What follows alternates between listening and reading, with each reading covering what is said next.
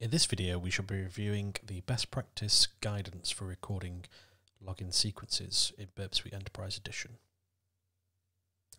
This feature is used to log into sites with complex login mechanisms. Uh, whilst the Burp Suite Navigation Recorder Chrome extension is easy to use in of itself, successfully recording a login sequence for a sophisticated authentication mechanism can be a complex process. This documentation is designed to give advice that should help when recording your login sequences. To begin, it's worth reviewing the limitations of the recorded login sequence, because whilst they are intended to handle a wide variety of login mechanisms, they do have some limitations. Firstly, recorded logins are only compatible with browser-powered scans. If Burp Scanner cannot initially initialize its browser, then the scan cannot start.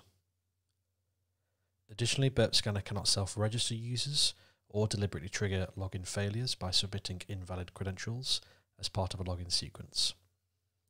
As a result, any login functions, crawl settings from your scan configuration